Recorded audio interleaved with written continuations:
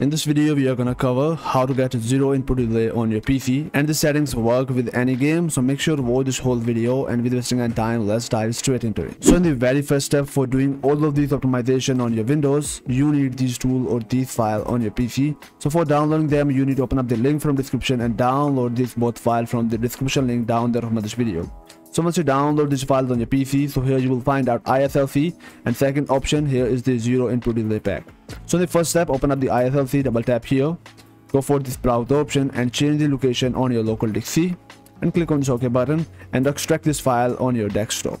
After extracting this file, you need to open up your file explorer, go for this PC, local C and there you will find out this ISLC folder.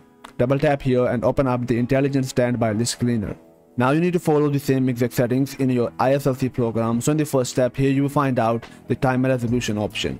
So go for it and change the value from the one timer resolution onto the 0.05 and check mark onto this box.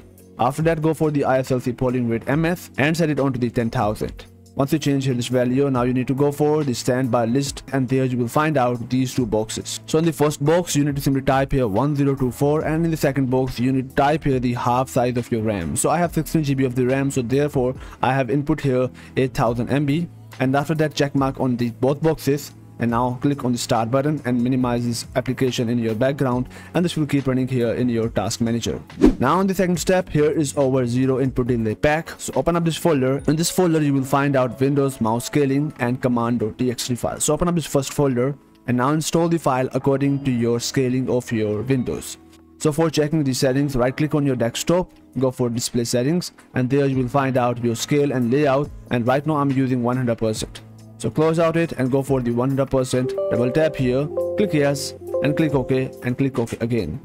Now go back and open up the command.txt file and copy all these commands from here. Right click here and copy it. Now go for your Windows search, search for CMD and run this as administrator and hit enter.